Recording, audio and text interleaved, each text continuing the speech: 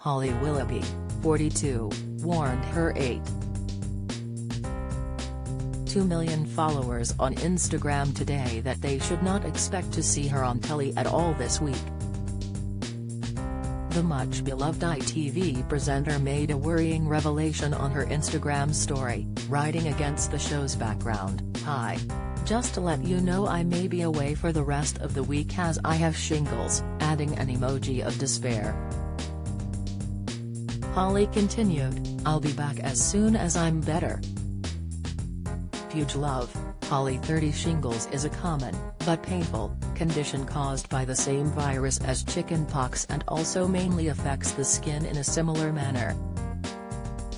According to the NHS, when a person has chickenpox, the virus can then go dormant within the body and if it is reactivated later in life it results in shingles.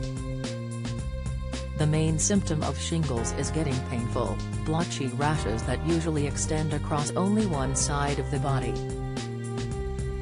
Blisters form over the rash as the body heals and it is contagious until the blisters have completely scabbed over.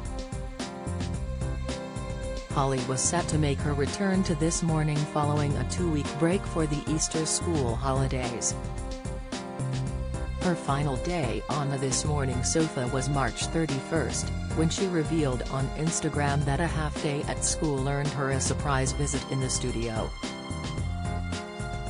In a candid snap, Holly could be seen eagerly chatting to her three children as production crew fussed with cameras in the background. Don't miss. Warwick Davis devastated and can't get over wife's loss, Insight, Paul O'Grady's funeral to be held at favorite safari park, update, Prince Edward rushed to the aid of bedridden Ulrika Jonsson, latest, Holly dubbed the moment her favorite interview of the week as she wrote online, the kids popped into this morning as they have broken up from school. So lovely having them there. They have grown so much since the last time they were here. So that's me for two weeks. I'm off to be with them and see if I can break the record for the most chocolate eggs consumed in 24 hours. Wish me luck.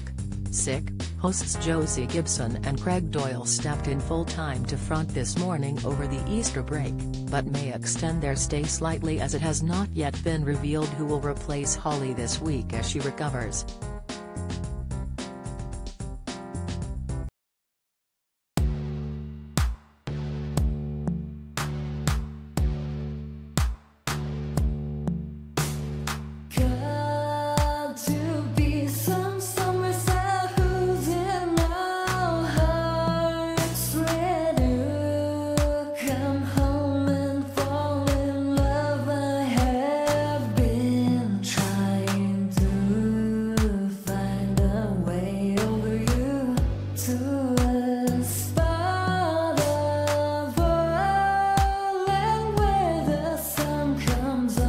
from love.